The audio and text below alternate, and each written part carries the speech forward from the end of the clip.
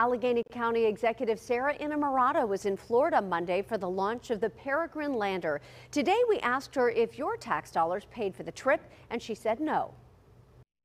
We flew Allegiant and uh, so, uh, Spirit, so we, we took some discount airfare to get down there. We were there about 36 hours, and I was back in the office on Monday. It was really exciting. I know that now we've learned that the, the mission has has not gone as planned, um, and that Astrobotics, I think, is very nobly reworking the mission so that they can prioritize data collection. Now, though Astrobotic's Peregrine mission is in jeopardy, the Pittsburgh-based company is preparing for another launch later this year. Chris DeRose reports. With an update sent out through Twitter on Wednesday morning, Pittsburgh based Astrobotics has confirmed that the Peregrine mission that they were spearheading for NASA will not make it to the moon. As of right now, the rocket is approximately 192,000 miles from Earth, which is about 80% of the way to the moon.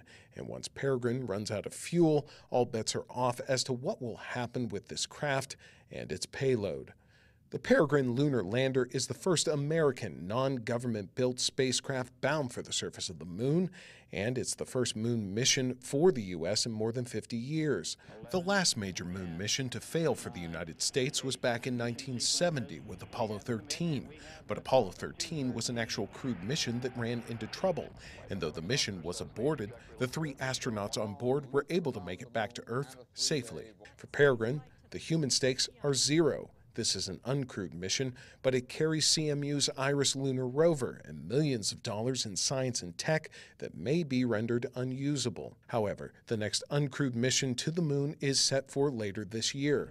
Astrobotic's Griffin is slated to launch on a SpaceX Falcon Heavy rocket, and it'll carry the NASA rover called Viper to the moon's south pole to search for signs of ice on the lunar surface. There is hope from the space community that the problems faced on this mission will help the next one to succeed. Reporting in Pittsburgh, Chris DeRose, KDKA TV News.